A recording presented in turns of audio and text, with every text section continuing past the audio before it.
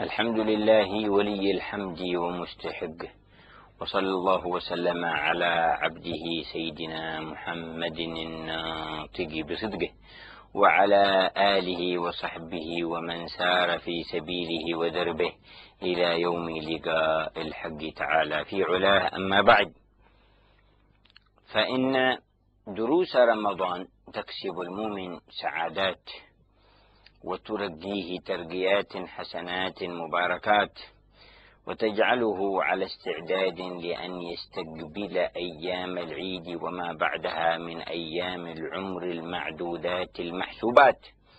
إن الأعمار لقصيرة وشؤونها كبيرة خطيرة فيا صاحب العمر القصير الذي يكبر ويعظم شأنه ينبغي أن تعرف من قيمة العمر ما تصرفه في ما تصرفه في مرضاة مولاك تعالى وما يوجب لك المثوبة والسعادة والمنن التي لا زوال لها ولا انقضاء لها. تكسب كل ذلك من خلال هذا العمر. فكلما توفر لك من خير في رمضان فحافظ عليه واستزد منه وكن آخذا لعلامة القبول لك عند ربك في حالك فيما بعد رمضان. كيف تختم رمضان؟ ثم كيف يكون حالك؟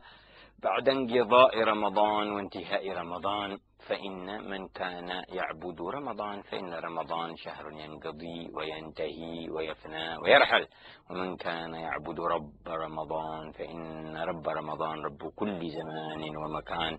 حي لا يموت قائم على كل نفس بما كسبت يعلم ما نسر وما نعلن وما نبدي وما نبطن. لا إله إلا هو إليه المصير. اللهم أعنا على ذكرك وشكرك وحسن عبادتك برحمتك يا أرحم الراحمين. ومن هنا نأخذ في السنة الكريمة أن عمله صلى الله عليه وسلم كان ديمة وكان يقول أحب الأعمال إلى الله أدومها وإن قل أحب الأعمال إلى الله أدومها وإن قل وكان إذا عمل عملا أثبته صلى الله عليه وآله وسلم. ويصادف الإنسان أحيانا نشاطا وإقبالا حسنا ويصادف أحيانا فترة وكسلا. فعليه أن يرتب لنفسه من الأعمال الصالحة مقدارا معينا يزيد منه عند النشاط ولا ينقص منه عند الكسل. مقدار يستطيع المواظبة والمداومة عليه فما قل ودام خير مما كثر وانقطع.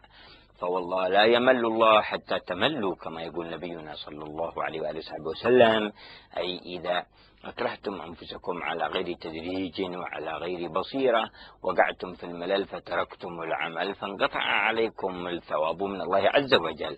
ولكن مهما تدرجتم ومشيتم في الأمور بحسن الترتيب لم ينقطع عنكم مدد الله وفيض الله وإحسان الله وثواب الله لأن الله لا يمل من عطائهم حتى تملوا. أنتم فتقطعوا أنفسكم فلا تتعرضوا لبعث الملل من أنفسكم على أنفسكم فينقطع عنكم عطاء ربكم جل جلاله فهذا معنى قوله فوالله لا يمل الله حتى تملوا أي لا تعرضوا لأنفسكم لأن تمل فينقطع عنكم فضل الله لأن الله لا يقطع عنكم فضله وثواب ما دمتم عاملين فاحرصوا على دوام العمل وعلى الاستمرارية في العمل فإن الاستمرارية على العمل تؤثر تأثيرا حسنا.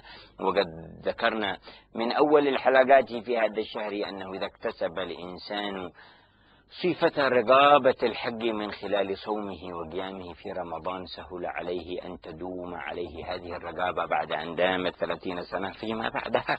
فإذا أضاف إليها عشرا من شوال وكملت أربعين سنة فإن الخلق الذي يكون مع الإنسان أربعين سنة يكون أقرب إلى الرسوخ والثبات فيه ولأن يتمكن فيه. ولقد جعل الله بداية تطوير الإنسان في الخلق أربعين يوم نطفة ثم أربعين يوم علقة ثم أربعين يوم مضغة فيدرجه بعد كل أربعين يوم إلى حالة أخرى. فكذلك بعد انقضاء هذا الشهر الكريم يحصل ثبات الخلق الخلق الذي رسخ فيك خلال الثلاثين اليوم ولو أضفت إليها الأربعين اليوم وخذ من ذلك الحكمة في ميقات الله لسيدنا موسى. ووعدنا موسى ثلاثين ليلة وأتممناها بعشرين فتم ميقات ربي أربعين ليلة. آه إذا في مسألة التعود شأن عجيب مع النفس الإنسانية.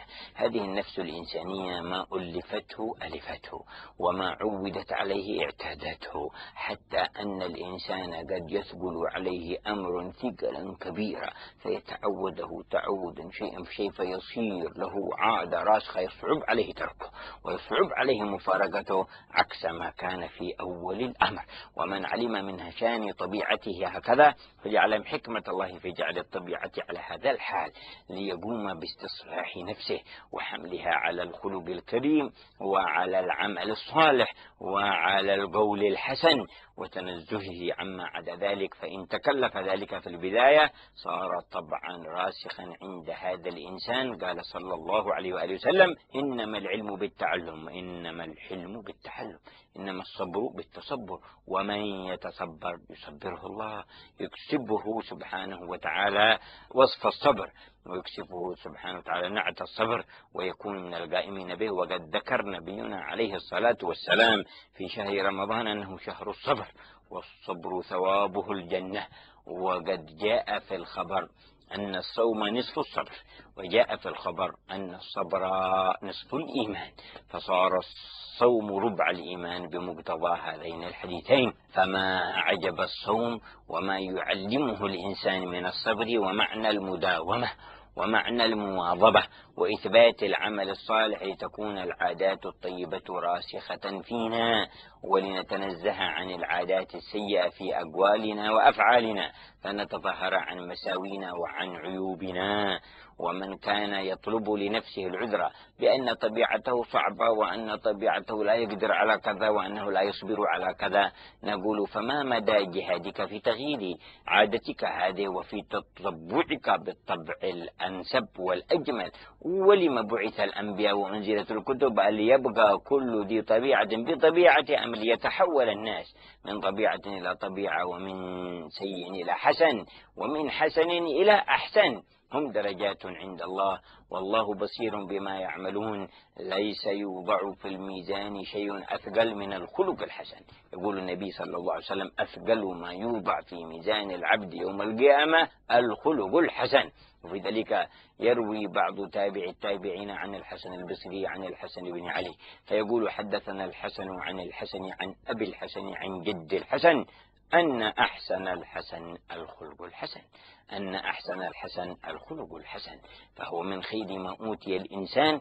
وفي الحديث أيضا ذكر اليقين مع الصبر وأنه من أعظم ما يؤتى بن آدم وأن من أوتي حظه منهما جمع الثواب من كل جانب فلا يبالي ما فاته من صورة الأعمال ما دام على هذين الوصفين. إن من أقل ما أوتيتم اليقين وعزيمة الصبر ومن أوتي حظه منهما فلا يبالي ما فاته من قيام الليل وصيام النهار أي أنه وإن لم تكثر أعماله الصالحة في الصورة والظاهر فإن هذين الوصفين يجلب بهما الثواب من كل جانب. إن العبد لا يبلغ بالخلق الحسن درجة الصائم القائم. فصلى الله على سيدنا أحسن الناس خلقا وعلى من اتبعه في طريقه وعلى من سار في سبيله وعلينا معهم وفيهم والحمد لله رب العالمين.